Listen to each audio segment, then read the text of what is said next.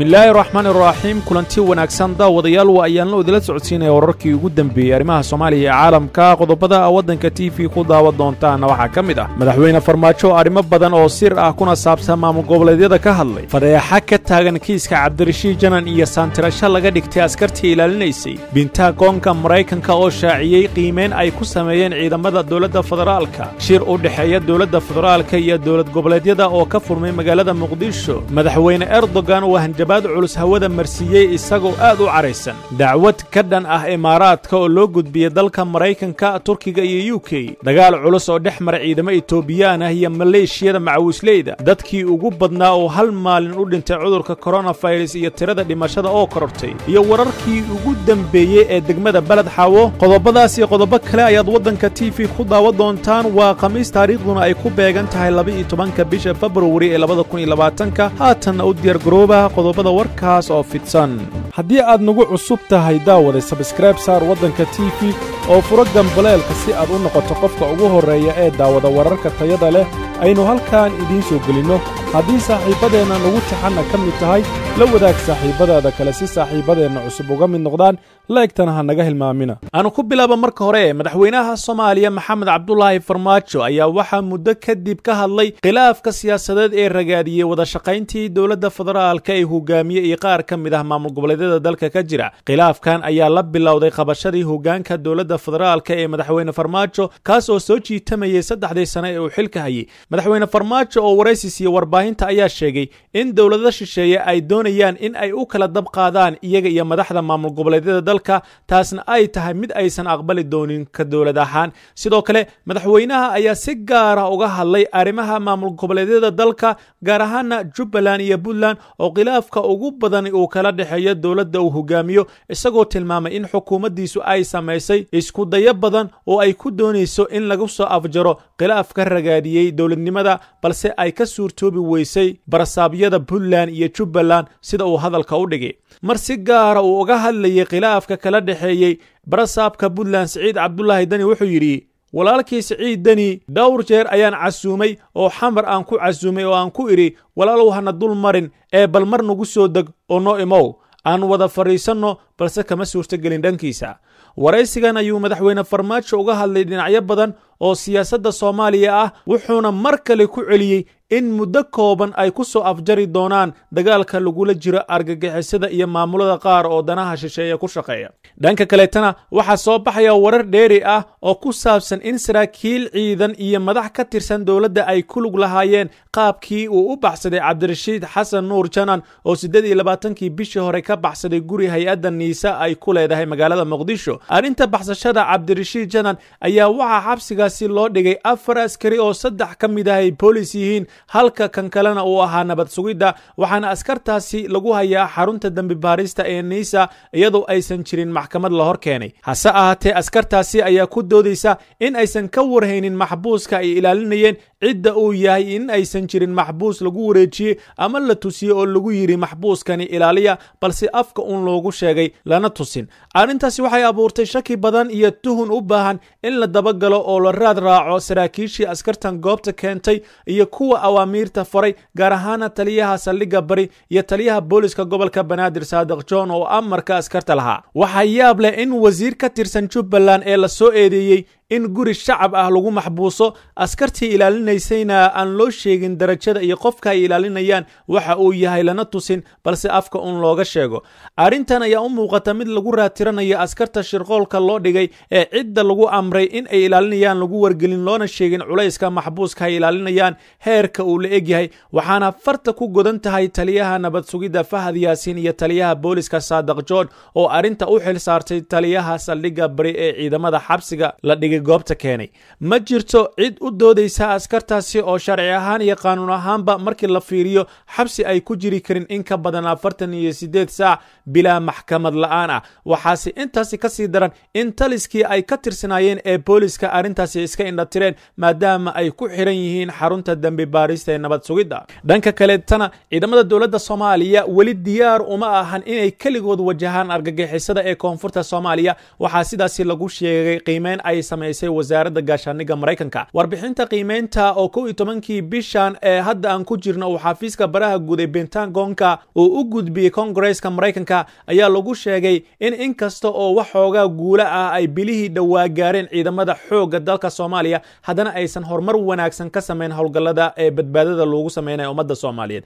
Howlgalka badbaado ayaa ah dadaal ee lagu xaqiijinaya amniga deegaanada ku yaalla koonfurta muqdisho. Qiimeyntan ayaa timid ka hor qorshe lagu dhimaya ciidamada maraykanka ee kuwa soomaalida iyo amisomba ka caawinaya dagaalka lagula jiro kooxda argagixisada. Waxay sidoo kale su'aal gelinaysaa hadafka taliska ciidamada maraykanka ee afrika ee africom ee ah in la wiiqo awoodda argagixisada ka hor labada kun iyo kow iyo labaatanka taasi oo aan hadda muuqanin. Warbixinta ayaa lagu sheegay in argagixisada weli ay haystaan talis iyo maamul wax ku ool ah taasi oo ay caddayn u tahay weeraradii kala duwanaa ee dhammaadkii labada kun iyo sagaal iyo tobanka ku qaadeen dhowr saldhig oo ciidamada xoogga dalka soomaaliyeed ay ku leeyihiin gobolka shabeellada hoose. Inkasta oo ciidamada xoogga dalka ay si guul ah saldhigyada uga difaaceen argagixisada haddana africom waxa ay sheegtay in aysan sidaasi awood lahayn haddii aysan helin taageero militari oo caalami ah. Warbixinta ayaa intaasi ku dartay in xaqiiqda ah in dowladda soomaaliya aysan maamulin dhul badan oo ka mid ah koonfurta ay macnaheedu tahay in wasaaradda arrimaha dibadda aysan gargaar gaarsiin karin meel ka baxsan muqdisho washington ayaa rumaysan in gargaarka uu laga maarmaan u yahay in meesha looga saaro ku tiirsanaanta deegaanada qaar ee habka maxkamadaha argagixisada canshuuraha iyo sadaqadaba ay ku bixiyaan. Waxaa sidoo kale xaaladda sii cakiraysa in howlgalka badbaado uu hadda hagad ku jiro sababa la xidhiira xilli roobaadka sida ay warbixintu xustay rubac dhammaadkii labada kun iyo sagaal iyo tobanka argagixisada waxay muujisay awoodda ay ku fulin karto weeraro heer sare ah dagaalyahanana ay ku qoran karto islamarkaana ay ku maalgelin karto howlgalladeeda ayaa lagu yiri warbixinta. Bishii januari dagaalyahanada argagixisada ayaa weerar aroor hore ku qaaday saldhigga ciidamada maraykanka ee mandabay ee gobolka lamu ee kenya halkaasi oo ay ku dileen ilaa siddeed askari laba kalena ay ku dhaawaceen. Dhan kaleetana waxaa magaalada caasimadda ee magaalada muqdisho ka furmay shirweyne u dhexeeya dowladda federaalka iyo maamul goboleedyada dalka kaas oo looga hadlayo arrimaha garsoorka iyo cadaaladda dalka. Shirkan oo ah mid sanadla ah ayaa waxaa soo qabanqaabisay xukuumadda soomaaliya gaar ahaana wasaaradda cadaaladda kaas oo la qabanayo sannadkii labaad sidoo kale waxaa shirka ka qaybgalaya mas'uuliyiin ka tirsan dowladda dhexe xubno ka socda maamul goboleedyada dalka iyo marti sharaf kale. Arrimaha laga wada hadlaya waxaa ka mid ah caqabadaha ka jira garsoorka hufnaanta cadaaladda iyo waxyaabihii ka qabsoomay ballanqaadyadii hore dhanka kaleetana madaxweynaha turkiga rajib dayib erdogan ayaa hanjabaad culus mar kale hawada u marsiiyey militariga iyo taliska dalka syriya kadib weeraro lagu dilay ciidamo ka tirsan militariga turkiga oo ka dhacay gudaha syriya erdogan oo wejigiisa cara badan ka muuqatay ayaa sheegay in militariga dalkiisa ay cirka iyo dhulkaba ka weerari doonaan meel kasta oo ay ku sugan yihiin ciidamada syriya haddii ay mar kale waxyeelo gaarsiiyaan ciidamadayada ayuu yidhi. Madaxweyne erdogan ayaa sheegay in turkiga ay ka go'an tahay in ciidamada dowladda syriya ka durjiyaan goobaha kormeerka ee gobolka waqooyi galbeed ee idlib ka hor dhammaadka bishan februari turkiga oo xulafo la ah qaar ka mid ah mucaaradka ka soo horjeeda ee dowladda madaxweyne bashar al asad ayaa talaadadii qaaday weerar jawaab ah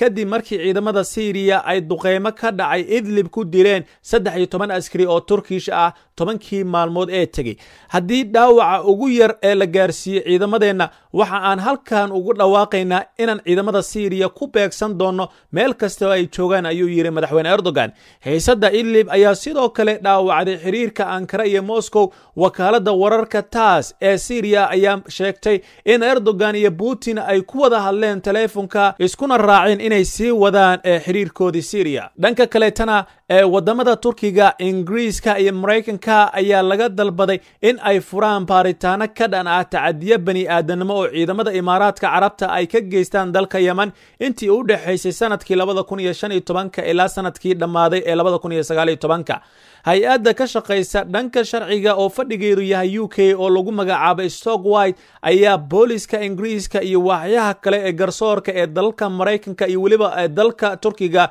u gudbisay cabasho ka dhan ah saraakiil ka tirsan dowladda imaaraadka oo mas'uul ka ahaa tacadiyo bani aadanimo oo ka dhaca yeman sharci yaqaanadan ayaa tusaale ahaan u soo qaatay duqayn lala beegsaday saxafi lagu magacaabo cabdallah sulaymaan cabdulaahi dublaax sannadkii labada kun iyo shan iyo tobanka. Inkastoo uu badbaaday wariyahan ayaa haddana waxa uu ka mid yahay dhibanayaasha eheladooda waxyeelada oo ay ka soo gaartay dagaalka sokeeye ee ka taagan dalkan carbeed waxaana ku dhintay walaalkii oo lagu magacaabi jiray saalax sulaymaan. Master sulaymaan ayaa intaasi ku daray in loo beegsaday saxafi ahaan weerar dhacay labaatan iyo sagaalkii disembar sannadkii labada kun iyo shan iyo tobankii duqayn diyaaradaha imaaraadku ay ka geysteen magaalada sayuum balse uu ku dhintay master muslim saalim oo ahaa walaalkii si kastaba ha aatee hay'adda u k ee u gudbisay dacwaddan ayaa sheegtay in ay hayso caddaymo muujinaya tacadiyo loo geystay dad rayid ah iyo siyaasiyiin diidan joogitaanka ciidanka imaaraadka ee ku sugan yemen. Lama oga sida ay ka yeeli doonaan waddamada turkiga ingiriiska iyo maraykanka dacwadda loo gudbiyo oo ah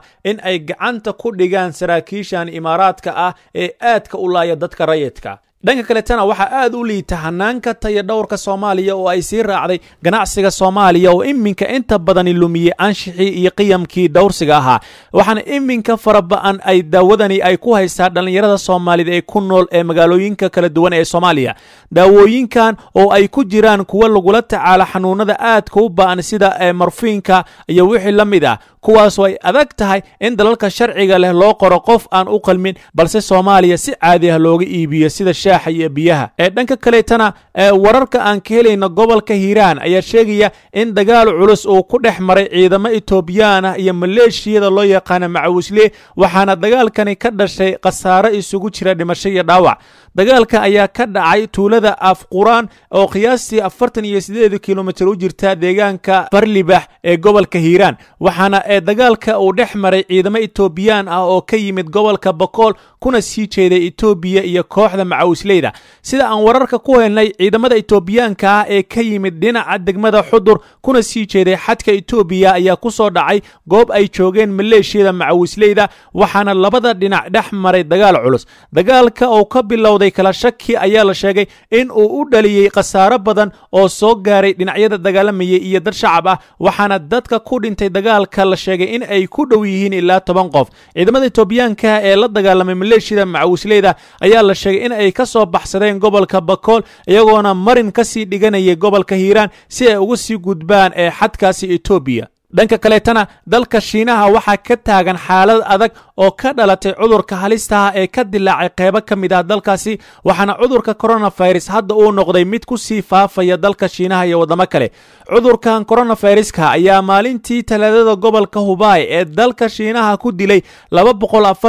qof waxaana tiradani ay noqotay tii ugu badneed oo maalin qura ay u dhintaan cudurkan halistaha ee coronavirus. Gobolka hubaay gaar ahaana magaalada wuhan ayaa halka uu ka dilaacay cudurkan corona uu yahay. Waxaana gobolkan ku sugan dadka ugu badan uu haleelay cudurka corona oo hadda la tacaaladiisa ay ku adkaatay dowladda shiinaha. Arrintan walaaca badan ee ku abuurtay dowladda shiinaha ayaa noqotay laba boqol afartan iyo laba qof ee talaadadii u dhintay cudurka corona ay ku jiraan boqol soddon iyo shan qof oo cudurkani laga daaweynayay. Waxaana hadda sii adkaanaya in dadka cudurkani haleelay in ay soo kabtaan cudurka coronavirus ayaa ku dhacay dad gaaraya lixdan kun oo qof waxaana inta badani la xaqiijiyey cudurkan inay u geeriyoodeen kun iyo afar boqol oo qof waxaana jirta cabsi badan oo laga qabo in ay sii kordhaan tirada dadka u dhimanaya cudurkan ugu dambeynna xaaladda degmada beled xaawo ee gobolka gado ayaa labadii maalmood ee la soo dhaafay deganeed kadib markii ay yaraadeen dhaqdhaqaaqyadii ciidan ee iska soo horjeeday kana jiray degmadaasi.